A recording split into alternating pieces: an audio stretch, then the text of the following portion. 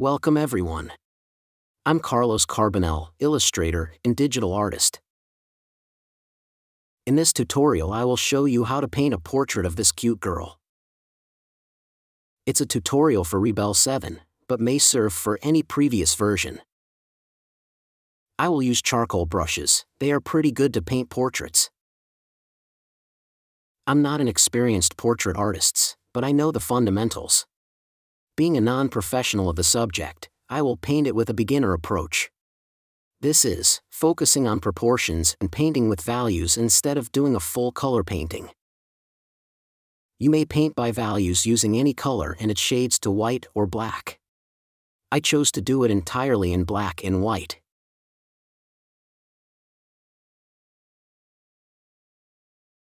You may choose any canvas size you wish charcoal brushes in Rebelle aren't so performance restricted with higher canvas sizes.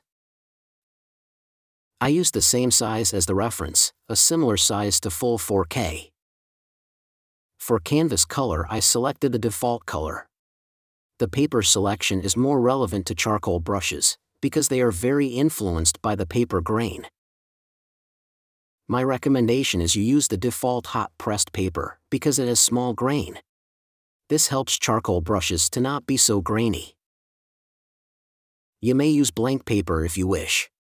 In case you select a rough paper, reduce the scale at minimum. I did a selection of brushes on a new brush group in pencils category. All of these brushes are copied from oil category. I like the knives and oil rakes. I import the reference. When you paint portraits, the most important thing is to be precise with proportions. There's different approaches to use the right proportions. If you don't have enough experience, you may want to trace. This is a cheat if you are an already experienced painter. But not when you start painting digitally. Take into account that you must stop using the trace feature as soon as possible. Otherwise, your mind and your hand will never learn how to do the things correctly. Instead, I will use the reference guides. In Reference panel, I start adding some guides in the places that seem good for me. I look for the shape of the face, to not be too thin or too wide. Then, the placement of the eyes, nose and mouth. These guides will appear in the canvas. I still will have to be precise in order to make a convincing portrait, but I don't need to worry so much about proportions.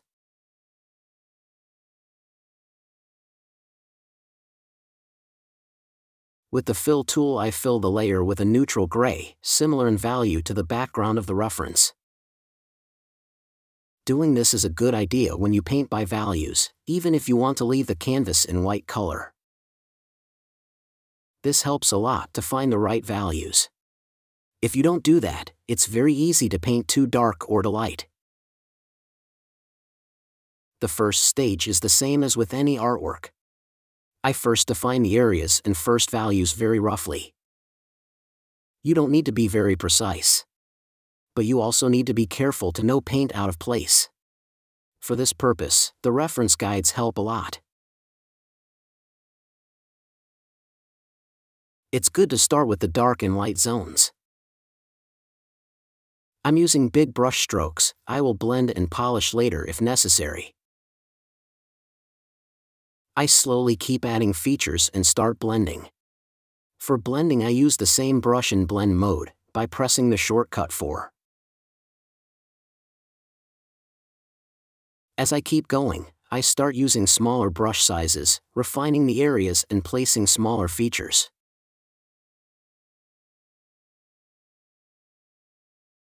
You must watch if that, even at this early stage, the artwork is starting to look like the reference. At least, everything must look in place. Only if you are convinced, you can keep painting. Otherwise, you must keep tweaking the shadow areas and the shapes.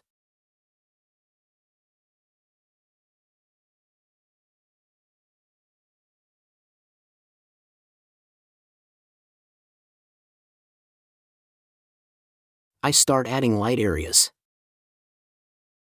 I also use the same tool in blender mode. At this point I don't blend to make look it soft like the reference, but to make sure everything is in the right place. As I keep going, I start being more precise. The usual workflow is to paint anything, then blend it. I switch between paint and blend modes constantly. I also use eraser if necessary. I use the same tool as eraser, by pressing the shortcut 5.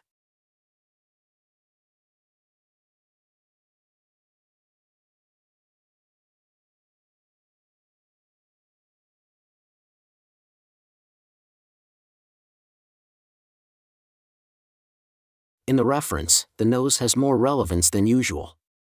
So, I try to be more careful in that area. I always struggle a lot with mouth and lips. At this point, I'm just satisfied having the right shape.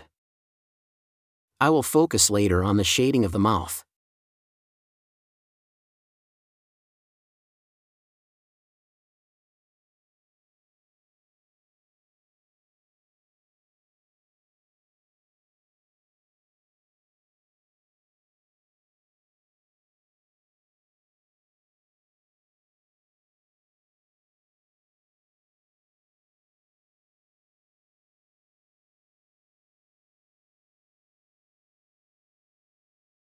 The face seems good. So I start shading the hat.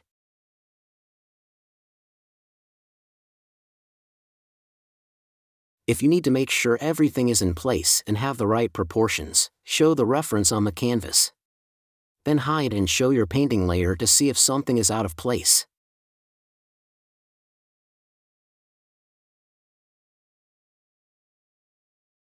To paint the features outside the face, I do it very loose and rough. This creates a contrast between the face and the other features. The face will be more polished and detailed, so anyone who watch your artwork will always be attracted first by the face. The hair will have more details than the hat. But I paint it loose too, like the hat. I apply more brush strokes because this area have more features and details.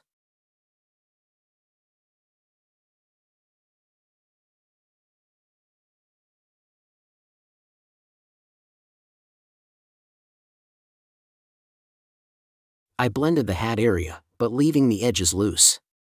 You must have control over the edges. A good practice is to keep the edges of the main feature as polished as possible. In this case, this is the face. But in the other areas, the edges must be more soft or loose.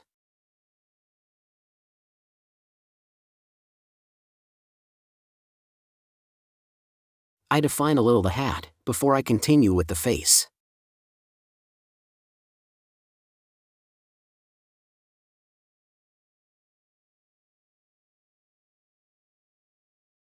It seems everything is set up correctly. So I start the main painting process, being more precise and adding some details. I start with the face. The eyes are very hard for me. I do my best, but they always look bad to me. Anyway, I start painting the eyes, as close as possible to the reference. This reference only has one visible eye. The other is visible too, but almost hidden. This makes things easier. The process is always the same. Paint then blend. At this point, you can start using the blender tool. Don't use the soft brush, select the soft noisy one. For details, you can use any brush at smaller sizes. Or any pencil. Sometimes the details look too sharp or too dark. In this case, use the blender tool, but don't apply too much pressure with your stylus. This soften everything a little, without losing detail. I start picking the colors directly on the canvas, because it already has so many shades, and is faster than going to the color wheel. I try to paint the eyes as best as possible, being as close as possible to the reference. But I don't worry to paint each detail, I will polish everything during last stage.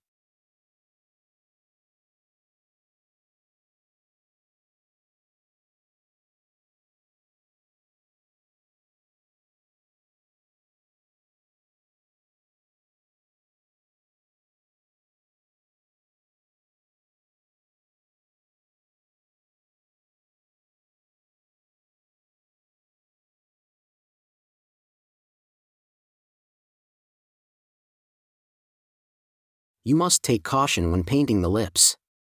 It's easy to paint it wrong, by making them too thin, or painting the wrong shape. You also need to add some dimension to them, to avoid making them look too flat. To nose is not hard as the lips or the eyes. But you also need to be careful.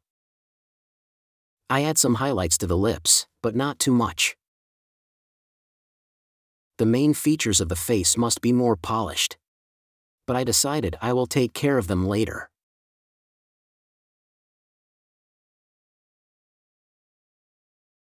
I add a little of shades to the skin.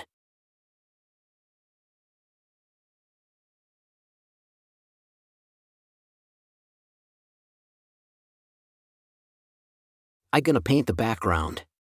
This part will be very short. I will not paint any detail or feature, just random brush strokes. I start painting with a grainy brush, with different shades of gray. The style looks too different to the one I used with the girl. So, I select one the palette knives I used to paint the girl and start blending everything. It looks too soft, so I paint few brush strokes and blend them.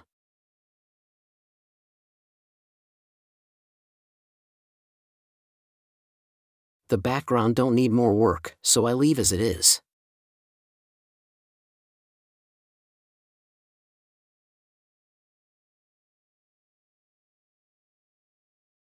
This girl don't have so many hair strands.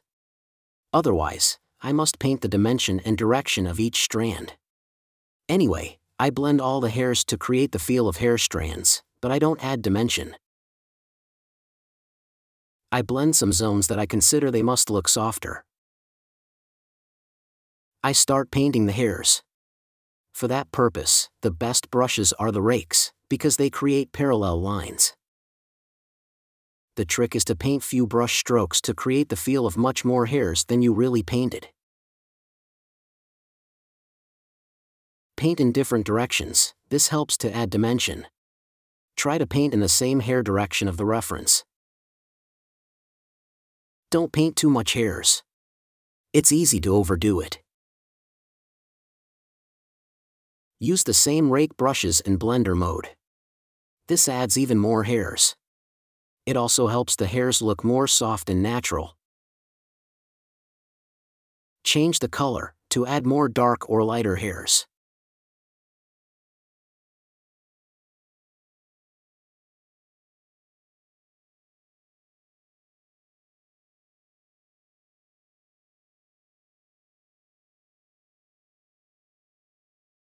I will add few individual hairs, by using any pencil. This adds a lot of interest and variety. It also helps to look the hairs more natural. You don't need to paint lots of individual hairs. Just few here and there. The direction of these hairs must follow a different direction from the main hair strands.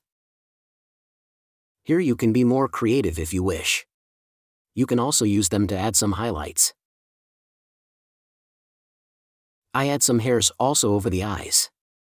Now that area starts to look good.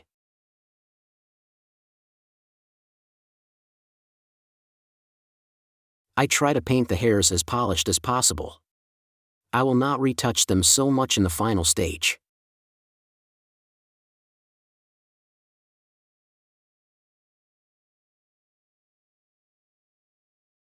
Sometimes my brush strokes go over an undesired area. I don't worry about that, I will paint over later on. For now, I stay focused on the hairs, and painting them as loose as possible.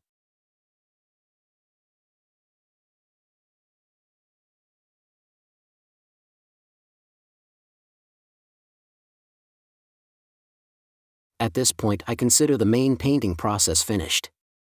I will paint any feature that I consider necessary, add details and make some tweaks. I start by refining some shapes and adding some highlights here and there. I jump from one place to another. This helps to not stay too much in the same area, and start watching the entire painting as a whole. I soften some edges, to not look so sharp, especially on the hairs. You may notice I zoom out a lot. It's the same that watching your artwork from distance. This helps to watch it as a whole. Usually I will do that by using the navigator or the preview panel. But at the moment of doing this tutorial, it was a bug that don't update those panels. So I had to do it manually. Anyway, sometimes I do it, despite having the preview panel open. I add some shadows to the face and the hairs. I also add some light to the hat, in the area near the nose. The reference don't have that, but I thought it makes this zone more interesting. You can use the layer blending mode overlay.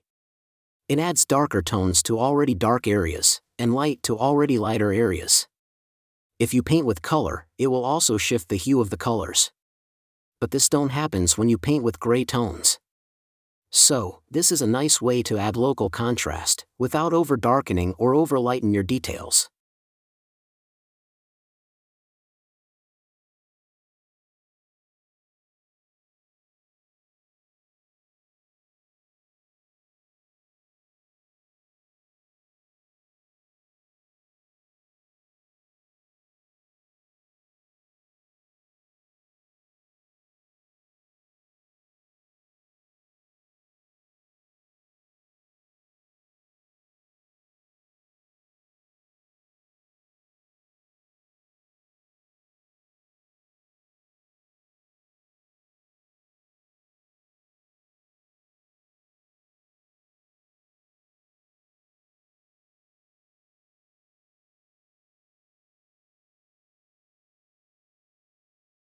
I add some details to the hat band, but not so much. Just the glimpse of details.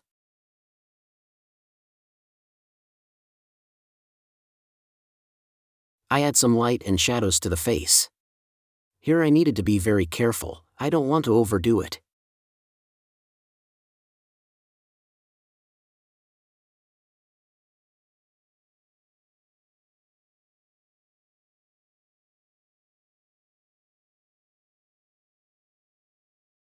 I wanted to add some freckles. But very small, like the reference. I use one of the brushes on the dry media group.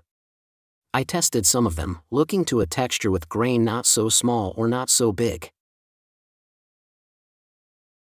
I make this process on a new layer. This way, I can delete any freckle without problems. I retouch a little the face.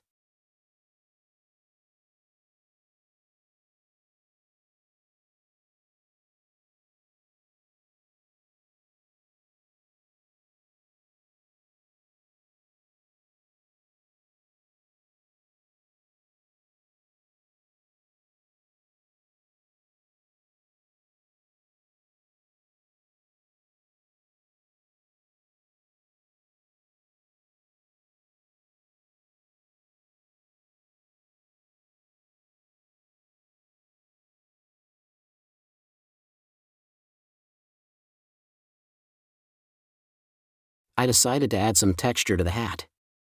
The other areas look much more detailed, this makes the hat look too flat.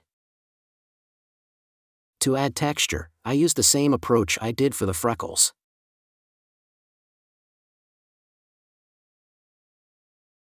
At this point I started to jump here and there again, adding small details and polishing anything.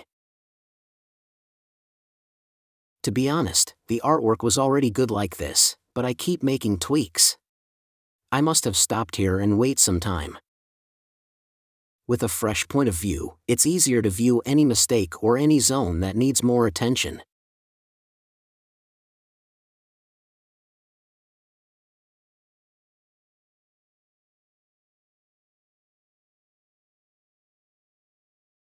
Always remember to sign your artwork.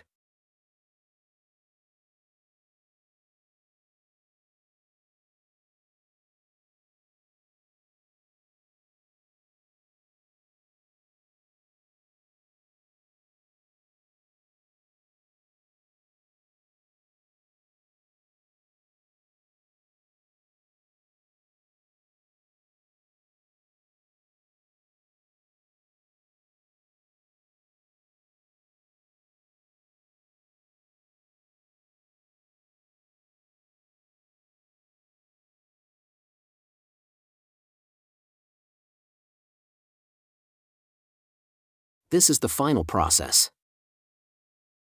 The artwork is already finished. But it's always a good idea to make a break, to have a fresh point of view. I did a break and decided to add more tweaks. I added a little of shadow in the lower part of the background. This helps the face to stand out a little more.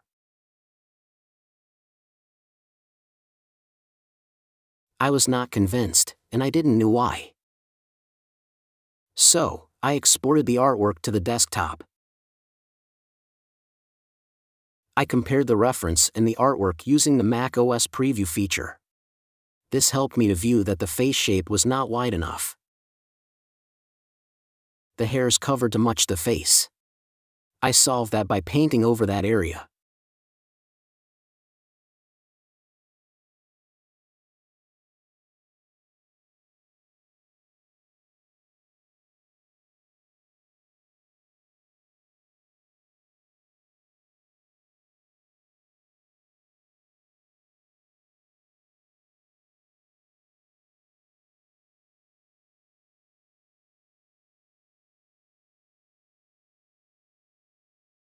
I tweaked a little bit the eye.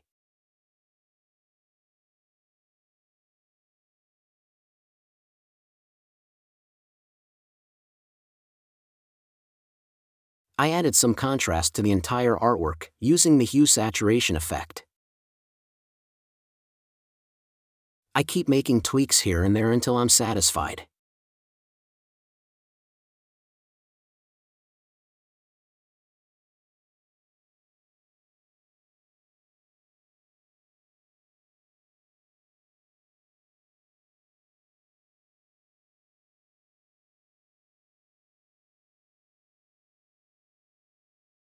And this is the process I did for this artwork. Remember that this is a beginner process. I'm not a professional portrait artist.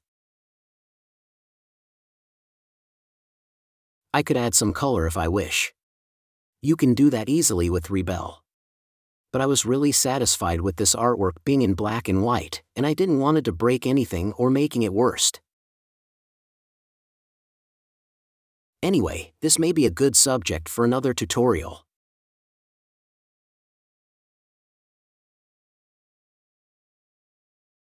I hope you like this tutorial. If this is the case, please subscribe to my channel, it will help me a lot to grow my channel and keep doing tutorials. Let me know anything in the comments. For example, if you are interested in how to paint over black and white artworks. Be happy and see you in the next video.